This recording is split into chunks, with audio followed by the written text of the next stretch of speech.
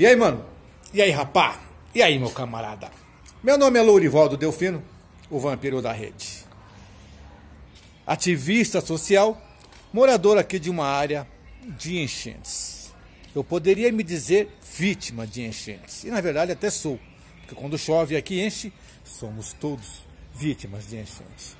E aqui na minha rua a água vem até aonde não deveria. Fato, retrato, registro. Eu comecei um trabalho junto à Câmara de Vereadores, ao Ministério Público, à Prefeitura e às subprefeituras. Saindo às ruas, promovendo cidadania.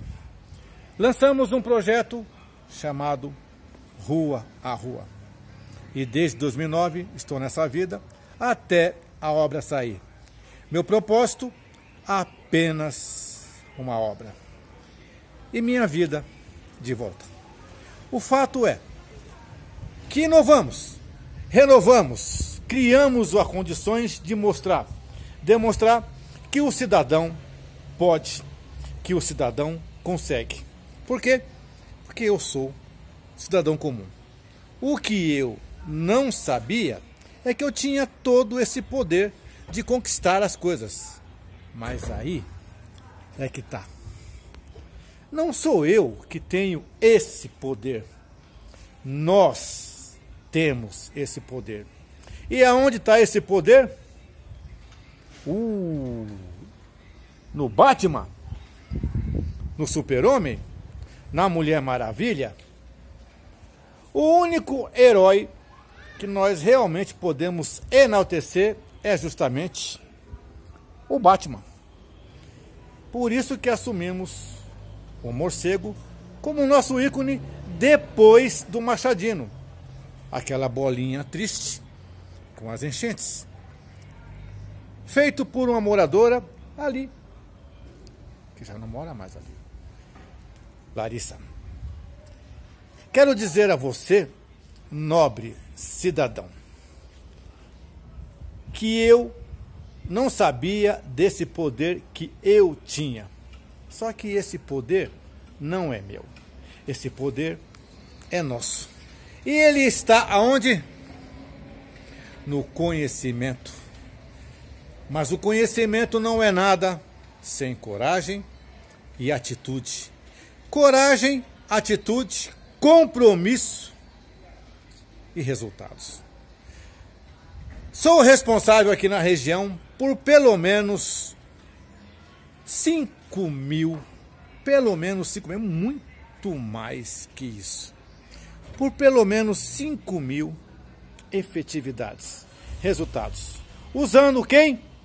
Usando o sistema, denunciando situações na Câmara de Vereadores acionando o Ministério Público.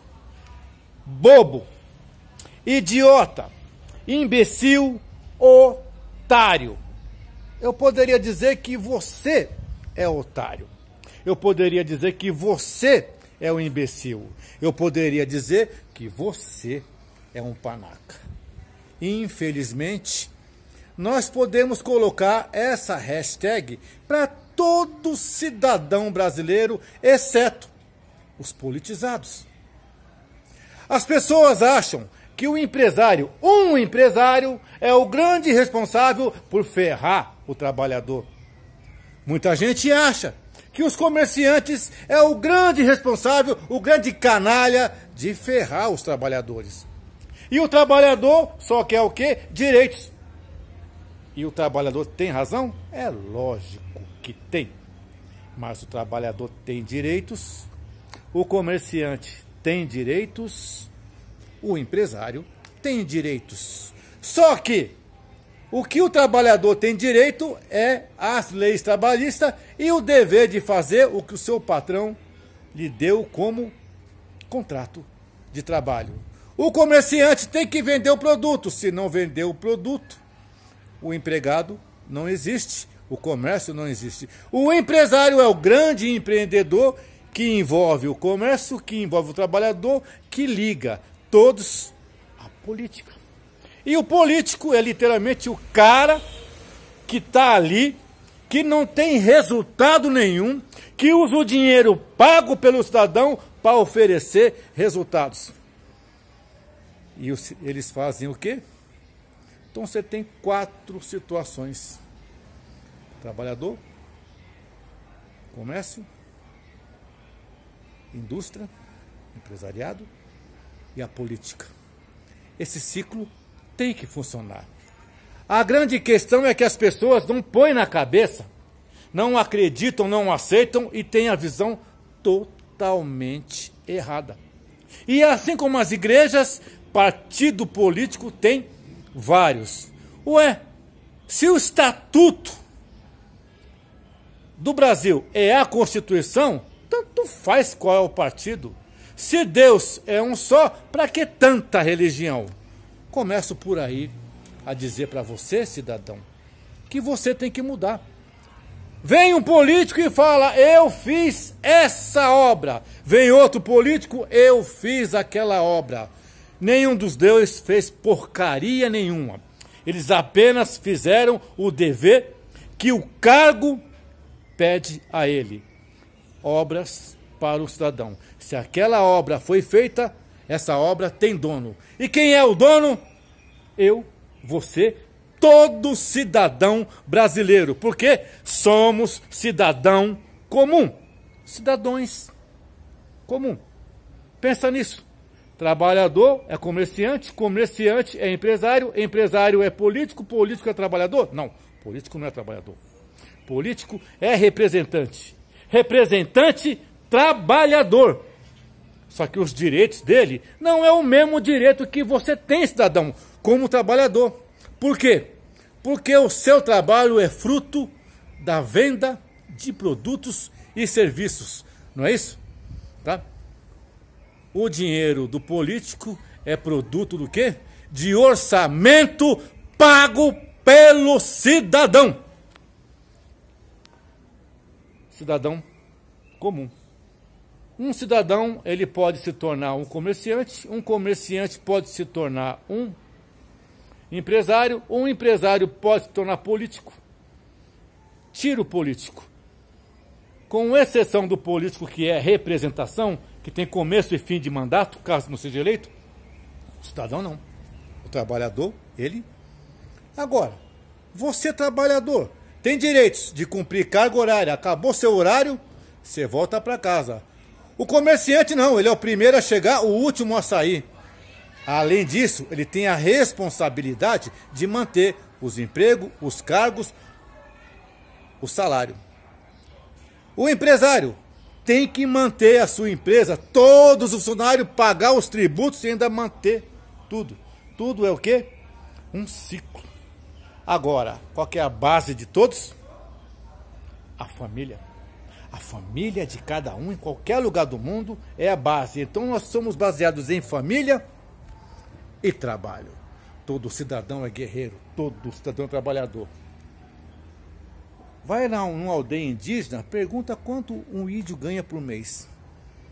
O índio não ganha nada por mês. Salvo as exceções, ele pesca, ele caça, ele faz a sua sustentabilidade. Somos o único país do mundo que respeita o índio, apesar dos pesares. O que eu quero dizer para você, cidadão? Acorda. Comece a enxergar as coisas a partir de você, a partir da sua luta, da nossa luta, da nossa sobrevivência, da nossa sustentabilidade. Meu nome, Lourivaldo Delfino, Delfino, candidato apenas a um processo ou um tiro na cabeça. Por quê? Porque eu falo sem medo de ser feliz, até porque nesse momento estou sem salário por me destacar. Me destacar como o quê? Como alguém que faz. Se pelo menos tivéssemos cinco pessoas que fizessem o que eu faço, da forma que eu faço, em pouco tempo, e eu digo pouco tempo mesmo, esse Brasil entrava numa revolução. E é exatamente isso que eu estou dizendo para você a partir de agora, cidadão. Promova a revolução. Eu estou aqui em frente ao celular, no meu quintal da minha casa, fazendo um vídeo para você abrindo sua mente, mostrando a serpente, mostrando o veneno, expondo a maldade, expondo a política, expondo a inteligência, que agora vai começar a tomar formato. Foi só a rede social começar a se manifestar e já começam a colocar leis contra a rede social. Denuncie. Chute o balde. Não tenha medo. Viver é não temer a realidade. Aquilo que nos fere é aquilo que nos fortalece. Antes de acreditar nos outros, acredite em você. A vida só tem sentido a quem dá sentido a ela. O veneno que está por aí tem um gosto ruim para todo mundo, porque é a maldade que está no coração de quem não tem inteligência, de quem não ama o próximo, de quem não entende que somos todos iguais, que somos todos irmãos. Quer você queira ou não. Querer agora a morte desse ou a vida daquele, aquele que fala morte a esse ou aquele fulano, na verdade quem está morto é ele, morto em vida. Porque nesse momento, coronavírus, só existe uma coisa absoluta: o vírus. Se ele pegar, você não sabe. Você não sabe se vai viver ou se vai morrer. Mas você sabe que o vírus está lá fora. Ou já está aqui dentro. Ou está no ar. Com certeza, ele está no planeta. E está na sua consciência. Cabe a você fazer o que é certo. E o que é certo? Olhar para dentro de si. Olhar para o seu poder, para a sua inteligência. Abraçar um ao outro dizer tamo junto e não importa quem é o presidente, não importa quem é o partido, não importa quem é o outro lado, salvo as ideias e ideais, o propósito é o mesmo. Essência, decência, sintonia e harmonia das coisas. O universo é perfeito. O ciclo é perfeito.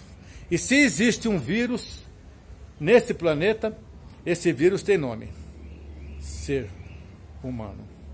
Porque os bichos, os bichos só fazem o que diz o instinto.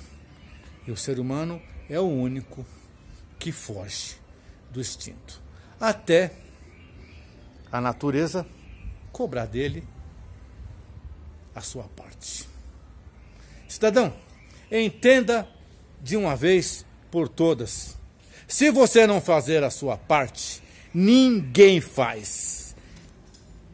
Viver é não temer a realidade.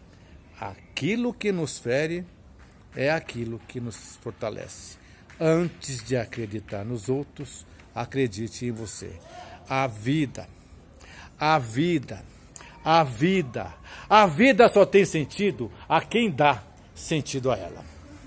Faça a sua parte.